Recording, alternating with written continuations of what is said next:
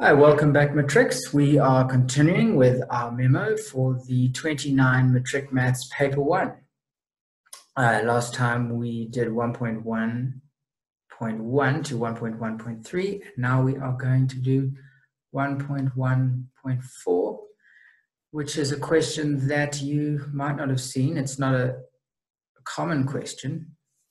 Um, so let's just write it out here. We've got a whole bunch of square roots within square roots. Um, so there's actually another square root there. Minus x equals x. Okay, so let's see how we're going to tackle this. Remember that if we have, say, 2 squared times 3 squared. Um, if you had these in brackets, you could say uh,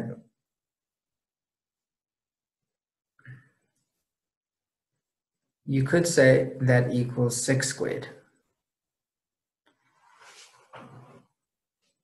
So, for example, I could also have 2 times 3 squared. We can see that that's 6 squared. So when something is in brackets, we can square the whole lot. So we can imagine that these times is in between, we could square everything and it wouldn't change the answer. So that's what we're going to do here. We're going to square everything. So this thing here gets squared.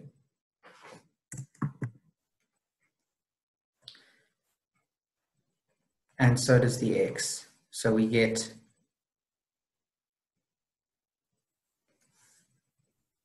root 32 plus x. Now when we square a square root, the square root just goes away.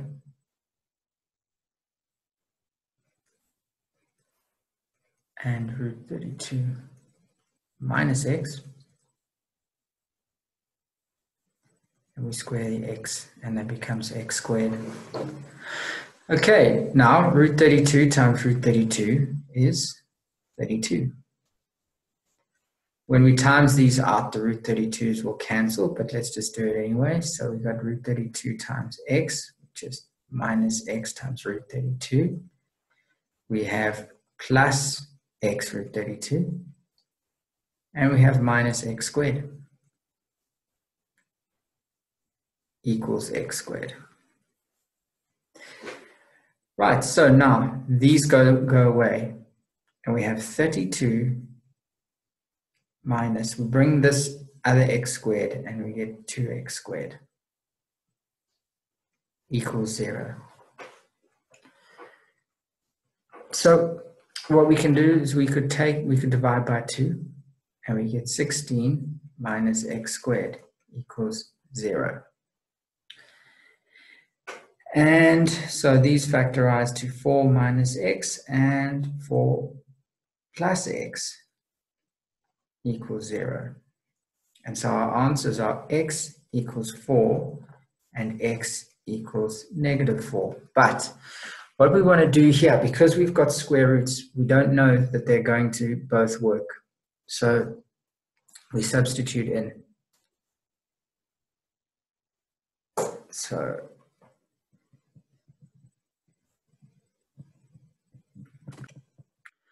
So first I try four and I put it in my calculator and like that.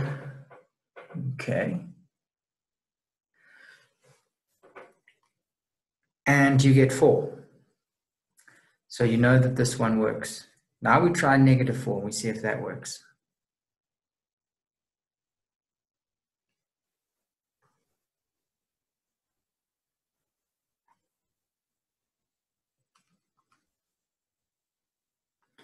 And it should do because it's just a different way around.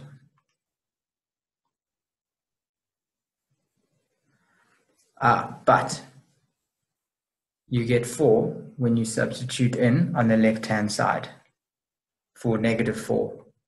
However, when you